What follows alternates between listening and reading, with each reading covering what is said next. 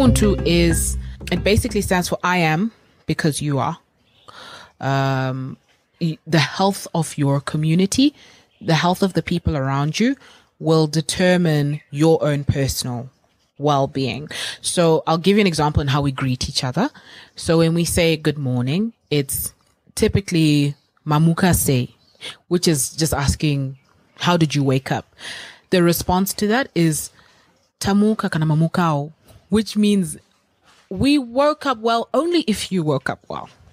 So it's ingrained in our very language. It's, it's basically putting an emphasis on those around you in order to improve your own social standing or your own, your own well-being as a person. So I feel like if we shift cryptocurrency for what it stands for, aside, there's a one side where it's like, yeah, it's against the system. It's like this activist. It's almost taken on the shade of activism.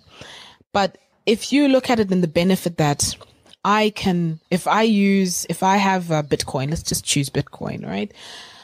I can send money to my relatives who are in Malawi or in Namibia or in Ghana.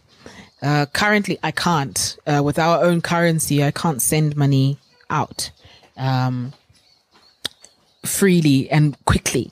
It's usually a bit of a process, and you have to get all sorts of approvals. But if cryptocurrency, if Bitcoin allows me to quickly take care of the people around me, if we can sit down as a community and say, okay, we need to buy a new borehole for our community because we don't have water and we haven't had water for years and we need a communal borehole. If Bitcoin allows us to buy and ship that a bore, say want the equipment or whatever, want to bring it in from America or China or Europe.